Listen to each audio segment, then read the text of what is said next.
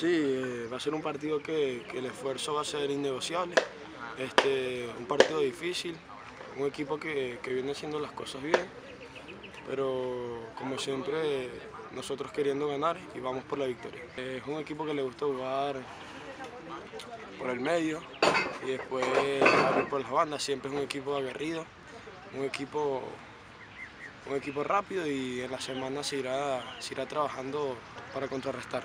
Ya estamos de séptimo entre, entre los ocho y mantenernos en los puestos altos para, para pelear el campeonato. Siempre, siempre queremos estar en la punta, siempre queremos estar en la punta y ese es nuestro objetivo.